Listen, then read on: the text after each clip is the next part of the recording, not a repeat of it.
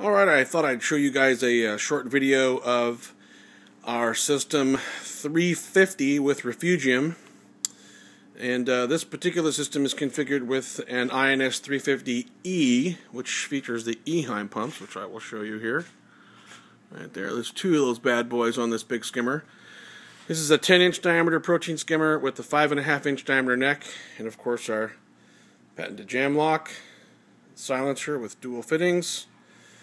There is an 8 inch pre-filter chamber here with a 7 inch ni um, nylon sock. We use nylon mesh so they don't clog so easily. And that's an 800 micron. We also have 400 micron um, and 200 if you want. So, but that's nice. Inch and a quarter fitting on top there to plumb into your system header.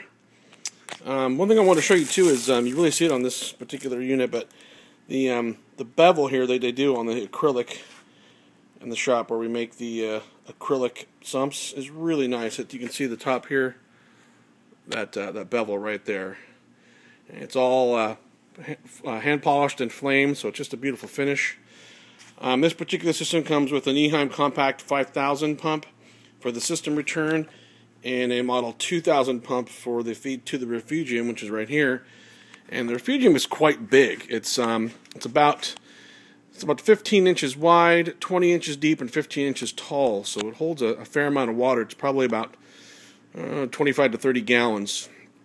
Anyhow, the whole sump is uh, 48 inches long and uh, 20 inches deep and 15 inches tall, and it's all made out of uh, 3 8 inch acrylic.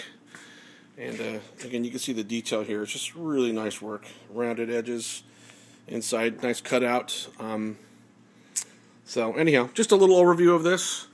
Uh, anybody who has questions about this can contact us at uh, 707 733 3411 or email us at sales at reefdynamics.com. All right, have a great one. Bye bye.